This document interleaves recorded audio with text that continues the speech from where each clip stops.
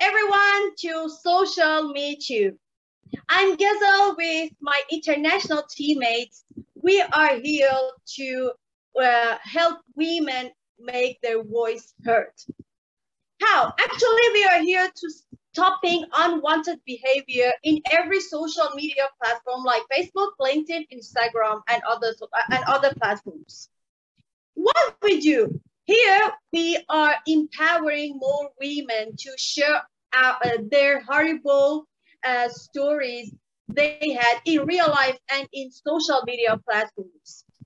Please stop being quiet. Stop ignoring this. Stop feeling like I'm just a girl. It is okay. It is not okay that guys are coming to you in your workplace, uh, at, at, at the place you're staying in your home, or even in your society. Guys are coming to you and behaving you like a sexual tool just for their wants and needs.